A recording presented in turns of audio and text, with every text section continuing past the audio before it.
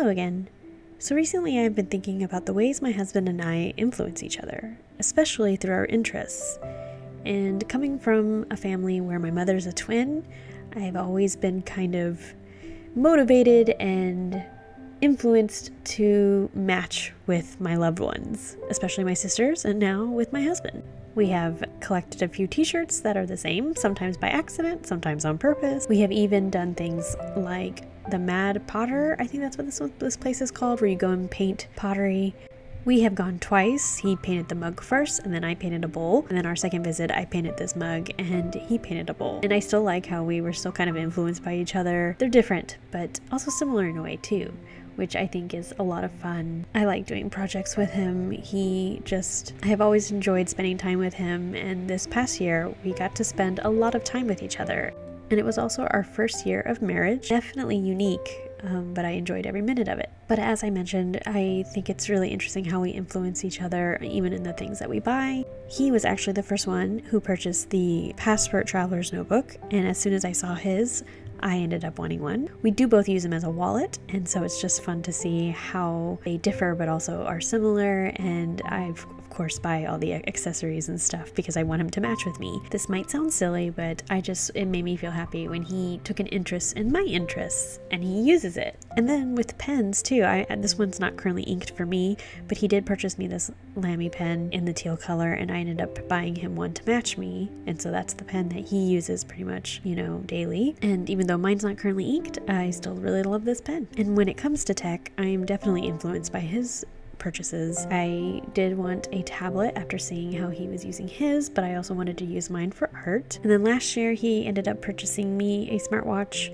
for Christmas, and this year I purchased him one because his previous watch that he had had for years ended up breaking and so he he wanted to try this out and he of course asked me how I was liking mine and I do like mine a lot but then of course we have a lot of tchotchkes I love tchotchkes these are our favorite Pokemon. We each have, you know, a starter one that we like, and then also a Eevee evolution that we like.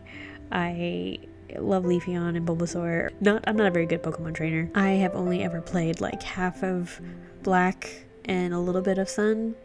Matt is definitely a better Pokemon trainer than me. He was definitely more dedicated to the games than I ever was. And then his mom bought us these cute Rogue and Gambit minifigs because he and I dressed up as Gambit and Rogue for a convention. And again, it just made me so happy that he was willing to dress up because it just made me, it just t- totally made my day, first of all. Rogue and Gambit are definitely my favorite Marvel couple. Um, so it has always been a little dream of mine to casual cosplay sort of as Rogue. And then one date, Matt and I also went to the Lego store and we made you know, mini minifig versions of ourselves, at least as best as we could. Uh, once I had found a face with glasses, I just had to do it. It was a lot of fun. But the tchotchkes don't stop at like my interests. They also include his, which is Magic the Gathering. Once he introduced Nissa to me, I just definitely had to have like things, tchotchkes, and things that pertained to her character. I think this is something that makes, you know, our relationship work really well is that we do share a lot of the same interests. We are definitely both very nerdy. I just love that even though we may use the same item in a different for a different purpose it's always nice. Like i purchased this ikea cart for all of my stationery stuff. I loved the idea of having it because it had multiple levels so i could store things and organize it.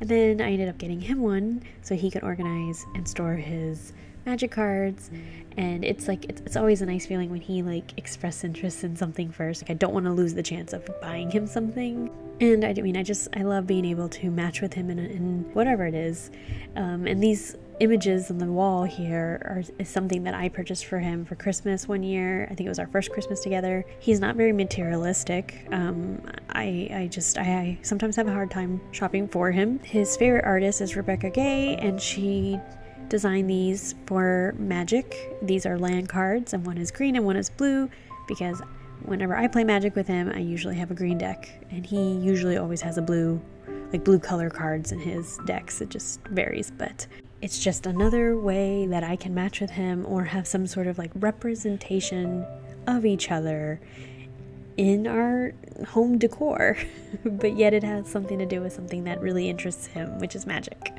Anyway, that's all I really wanted to share with you today. I hope you enjoyed this video, and I'll catch you in the next one.